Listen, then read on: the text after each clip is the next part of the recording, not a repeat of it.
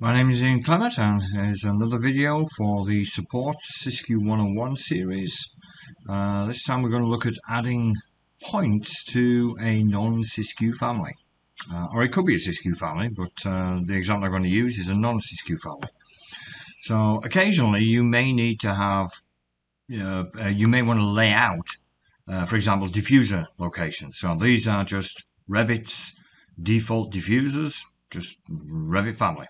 That's all these are. So basically I've got these placed in the model and what I actually want to do in my point file for layout purposes, I actually want to designate maybe the center points of all of these uh, diffusers.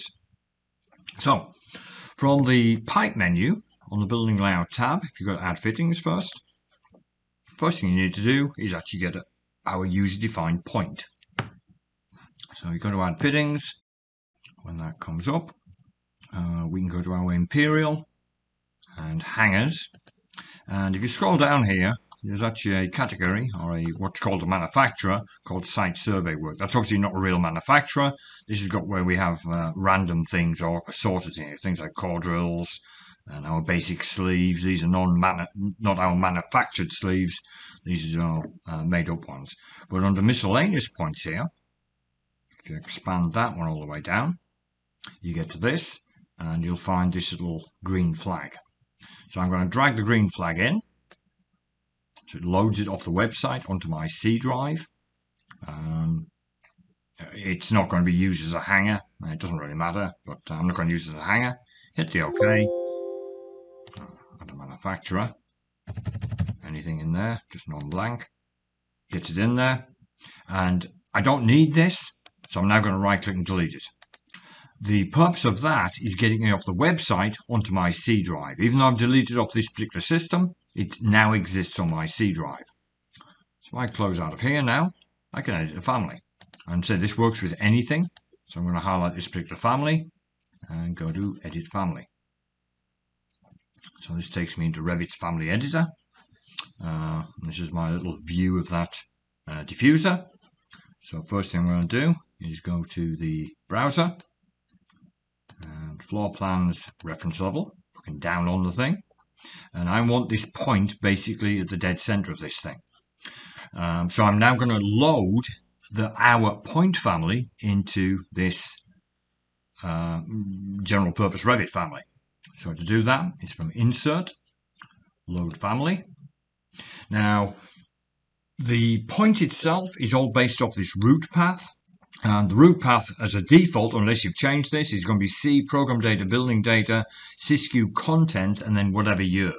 So if I go to my computer, C drive, program data, building data, you can see that's basically the first part. I'm actually on SysQue 2020, so I need to go into the content 2020.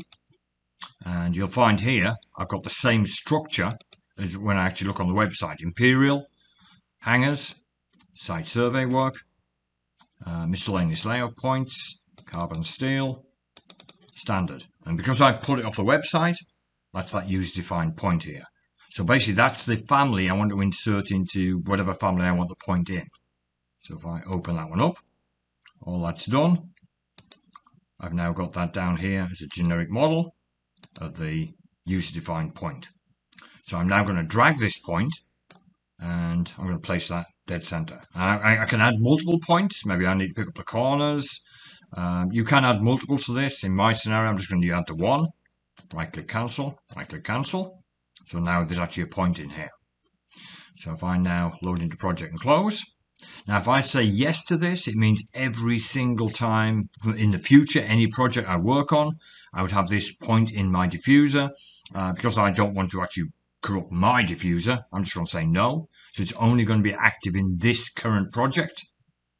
And I want to overwrite with the with the new parameters. And you'll see, you see these little points in all of my diffusers now. These are the actual layout points off here. Uh, now, just as a, a tip off here, when SysQue generates a point file, uh, it prefixes the name of the point with the item number um, parameter. Now, because these are non-SysQue components, there is no item number in there.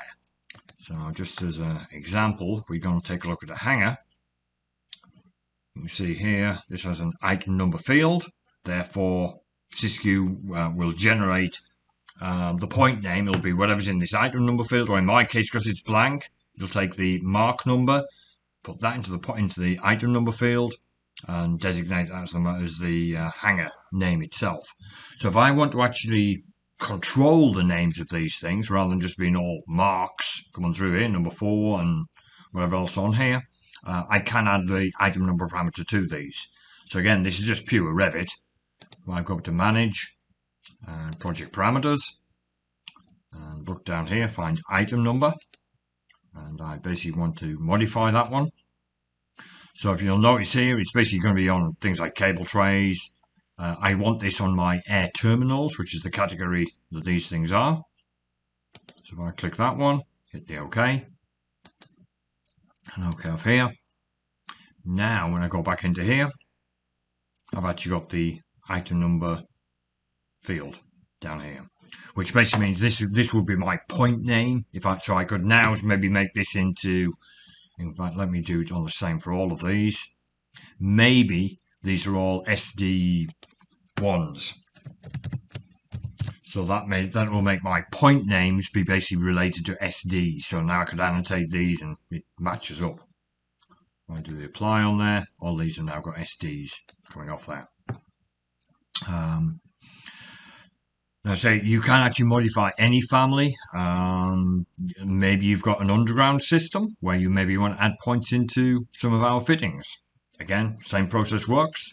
Highlight the fitting, go into edit family, add the point in there, and place that wherever you need the, the point to be. So, relatively straightforward process. Uh, but just let you expand uh, the capabilities uh, as you actually go through there.